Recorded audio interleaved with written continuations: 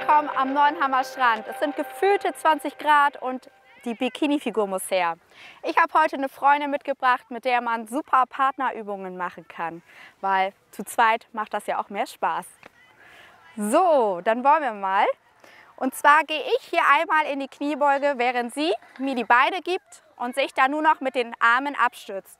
Dann gehen wir gemeinsam runter und wieder hoch. So, sehr gut gemacht. Hier trainieren wir jetzt vor allem ich. Einmal die Beinmuskulatur und die Po-Muskulatur. Und bei meiner Freundin trainieren wir einmal den Trizeps.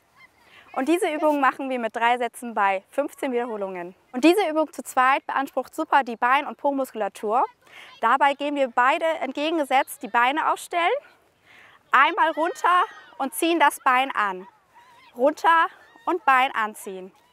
Runter und Bein anziehen. Diese tolle Übung könnt ihr dann auch bei drei Sätzen mit 15 Wiederholungen machen. Natürlich rechts und links. Denkt dran, wenn ihr ganz viel Erfolg bei den Übungen haben möchtet, sollte die Ernährung natürlich auch stimmen. Da ist es wichtig, dass nach dem Training natürlich eine eiweißreiche Ernährung sein sollte und vor dem Training ein bisschen Energie, wie zum Beispiel eine Banane. Danke, dass ihr heute zugeschaut habt. Ich wünsche euch viel Spaß mit den Übungen und bis zum nächsten Mal. Tschüss. Tschüss. Das war super, hast du ja. richtig gut gemacht.